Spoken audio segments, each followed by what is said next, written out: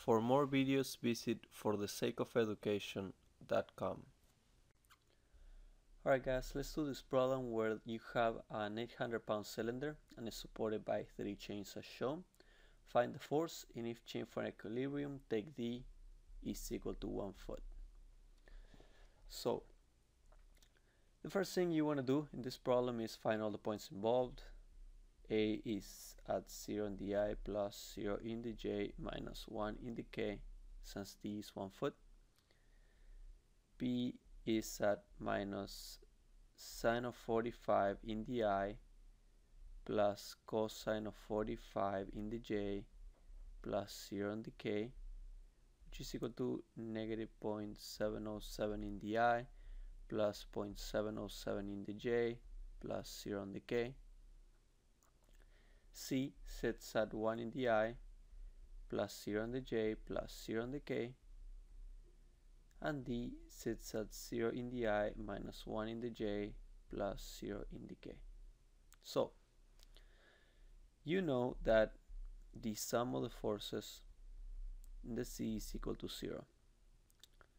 So that means that the weight of the crate minus 800 pounds. At A you got the weight of the crate which is 800 pounds and then you got these three forces going up.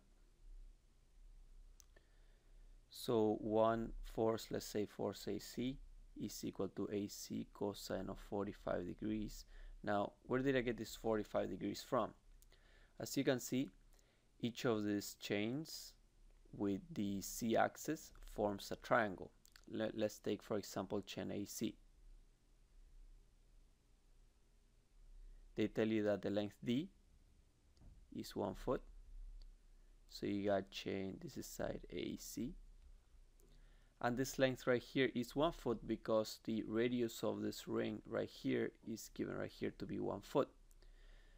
So if the adjacent is 1 and the opposite is 1, this angle, let's call it theta, is equal to 45 degrees because this is 1 and this is 1, so that's perfectly 45 degrees. So that's where we got this AC cosine of 45 degrees. Each of the triangles formed is the same thing. It's the same triangle. So you got AC cosine of 45 plus AB cosine of 45 plus AD cosine of 45 is equal to 0. So, in conclusion, 0.707 AC plus 0.707 AB plus 0.707 AD is equal to 800.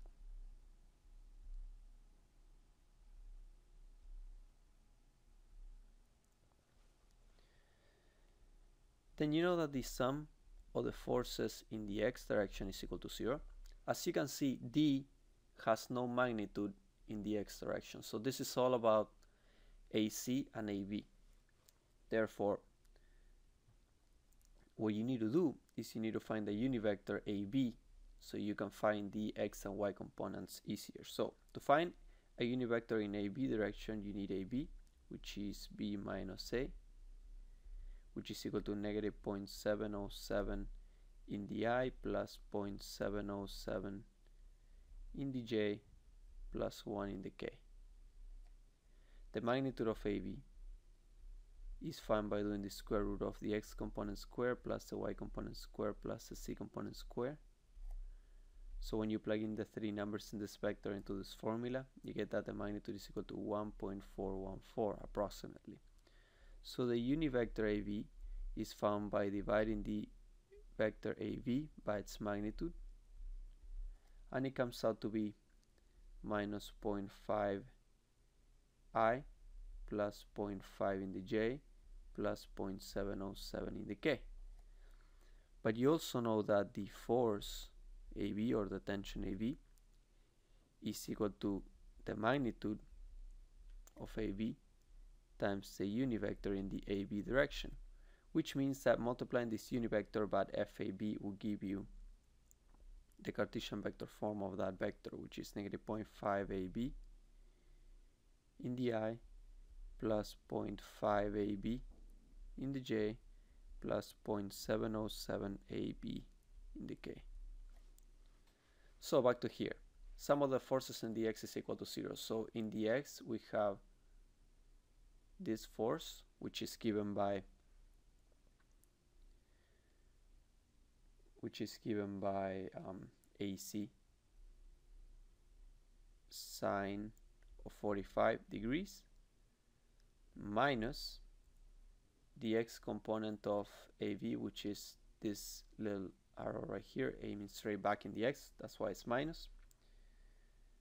So it's minus 0.5 AB which we got from this vector right here and that it's equal to 0 so in conclusion you solve for AC and you get that AC is equal to 0.707 AB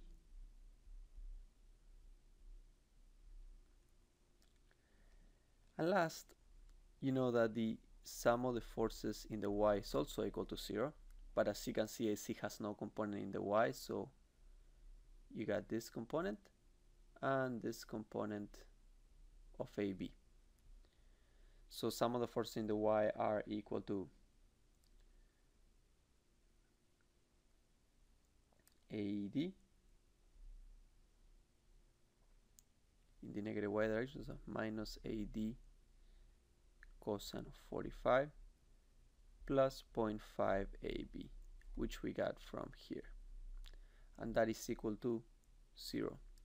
So you know that AD is equal to 0.707 AB. Now, if you look at this equation, you, and this equation, you can conclude that AC is equal to AD. They're the same.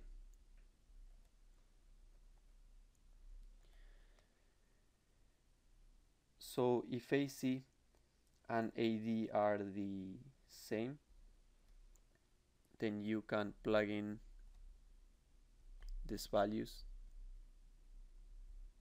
into this equation. Let me open a new page, turn the page, and when you do, you get that 0.707 AB plus 1.414 AD is equal to 800 which means that 0.707 AB plus AB is equal to 800 which means that AB is equal to 468.7 and if you plug that into the other formulas this one and this one you can find AC and AD and AD which is equal to AC comes out to be 331.3 pounds so those are those are the three tensions developed in each chain for equilibrium final answer final answer and this one's also in pounds Please comment below if you want me to do any problems and I'll be happy to help. Thank you.